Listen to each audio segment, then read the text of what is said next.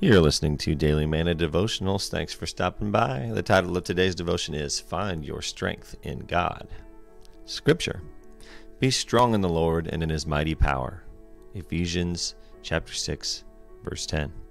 In order to avoid feeling overwhelmed with anxiety and fear, uncertainty and inadequacy, it is essential to cling to Christ and draw your strength from him. No one else but God knows you and your problems so intimately and completely. God loves you so much that He keeps a vigil of all embracing love over you.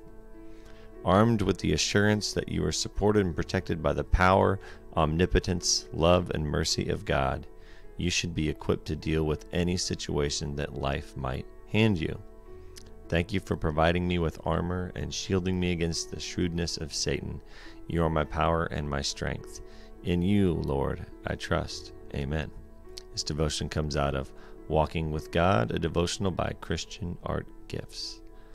I like this one. This one talks about uh, uh, the power of God and that um, basically that He can overcome anything. So uh, I like that because, as we all know, life hands you some crazy things sometimes.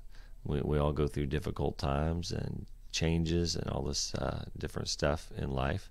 And it's always comforting, I think, to know that if we just remember to pray and to ask Him and to uh, confide in Him, and you know, He knows what we're going through, He knows everything about us. Uh, this uh, devotion talks about His omnipotence and uh, being all all knowing, and His love is endless, and uh, His compassion is as well Unfortunately, uh, mine is is not. So uh, it's hard to comprehend.